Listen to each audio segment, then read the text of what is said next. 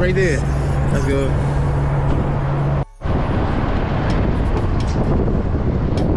It's a light one. Total weight like 3,600.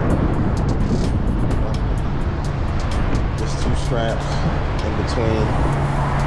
Tighten it down. I got a target too, so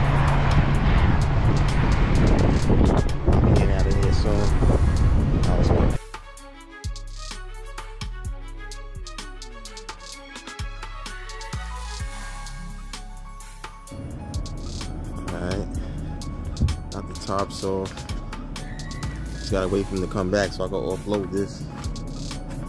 But wasn't that bad. It's, so I gotta back up out of here.